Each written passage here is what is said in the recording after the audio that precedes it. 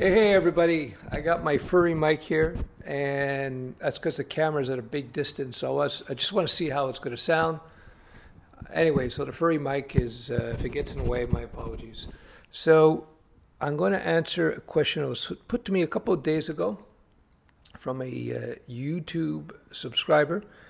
And uh, yeah, I'm just going to skim through it because I don't want to bore you guys. So I've been a subscriber for a while. Just sign up to your IWD course. Thank you very much. I enjoy watching your videos and experience. I watched your recent video about boot camps and left me wondering. Oh boy. I am in a situation of confusion at the moment after watching the video and was hoping you could uh, straighten my compass, as he says. I value your advice. All right. I was self-employed contractor for 30 years. That's quite a while. Uh, the daily physical work has taken its toll on my body. I'm now 60 and trying to change careers again to become a web dev or do something from the neck up. Yeah, I can see that. I can see that. Uh, as you get older, your body becomes less resilient. So, even more reason to stay in shape. I'm sure this guy's in shape, but you know, 60 is 60.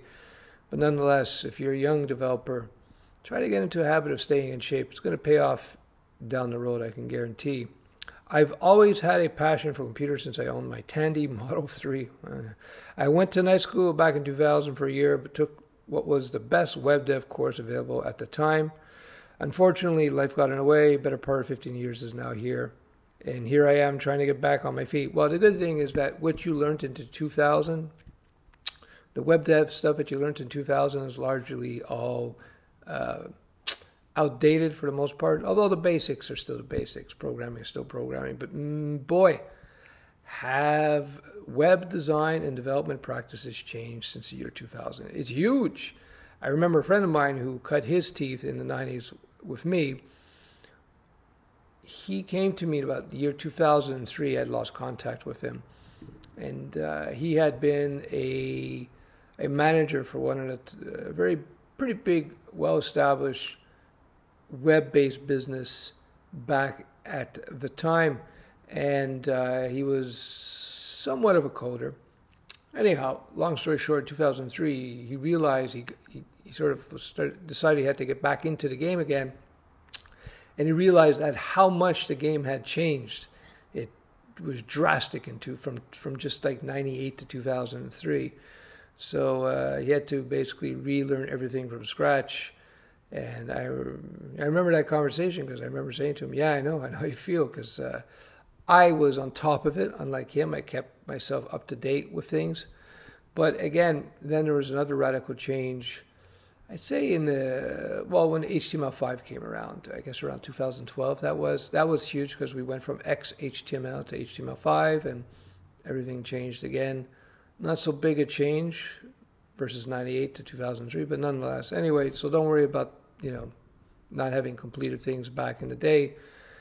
It would have been better, but it's not really crucial. So he said, uh, I tried self study for a year in Udemy, but I felt I needed something a bit more structured to move things along. So I enrolled in a boot camp almost a year ago, and I am currently enrolled, but have been offered two months to take care of some personal issues. Uh, not a good thing since I forgot a lot. So far, I've gone through HTML, CSS, jQuery, now finishing up JavaScript APIs and about to learn Node, then React. Uh, I have a good understanding so far, but not necessarily what I would call proficient, especially when it comes to functions. I am subscribed online to only a few experienced developers. I am subscribed online to only a few only a few experienced developers as I feel that my best resources for advice. But then again, everyone has an opinion. Okay, I guess he says he subscribed to three online developers, different opinions. I'm just going to power through this because it's a pretty long email. Here's this dilemma coding has taken me away from WordPress. My mentors frown on CMS and think hand coding is the best way to go. I've been told that, that you make much less working with WordPress than as a coder I have also heard that it is not accurate. Both concepts told by experienced developers. Very confusing. Who should I believe? Stats online confirm WordPress guys make less. Is that just certain instances? But the money is important. I've been led to be, believe that trying to go at it on your own as a noob is near impossible today. Some have said work for a company. Another have said uh, because of my age, I should go freelance route. Spin, spin, spin. What's a 60 year old fellow to do? I live in NYS. Not a fan of commuting. I like WordPress. I like doing design, layout and design. I want to be able to code at least for what I need to do to get the point of being able to make some money. Do I continue to push forward and learn Node.js, React, or am I better hitting the brakes and divert to learning PHP MySQL? My bootcamp does not teach those. I just don't want to waste time learning stuff that isn't going to provide immediate benefit. What I don't need right now, I can learn down the road. I understand that it is also to do with what the job requires. My endpoint goal if there's decent money in it, to become WordPress efficient and freelance as a WordPress site renovator, redesigner of existing sites, and create new sites, or be employed to do the same.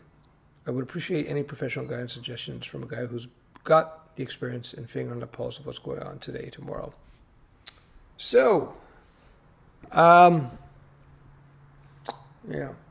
Well, if you're in a boot camp, you paid for it, and you only have a couple months left after a year, I would say you might as well just, you know, get the training, learn the node, learn to react, because it's just going to be two tools in your toolbox that you might find very, uh, very useful down the road. You never know. You, if you're having troubles with functions, that tells me that you still need to go back and revisit the basics once again. That's a classic example of what I preach all the time. One of the fundamentals I keep hammering is that the key to all this stuff is to really grasp the basics well. Once you have the basics of functions, you understand completely in objects and collection types and databases and how uh, the re- request response cycle. These are all the basics that I really emphasize in my courses. Why? Because they're so important. Because they're the fundamental. They're fundamental to all this technology all the languages, whether it be uh, JavaScript, Python, PHP, Java, C Sharp, whatever. All this kind of stuff is very important. Understanding request response cycle is key to web apps. Now, it's not going to have a huge impact, but it's going to really open your mind to how all this stuff works.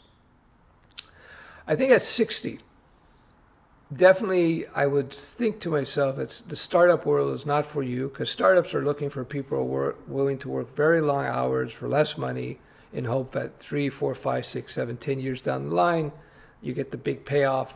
Where 80% of the time that doesn't happen. And that's just that's not opinion. It's statistics. 80% of startups fail.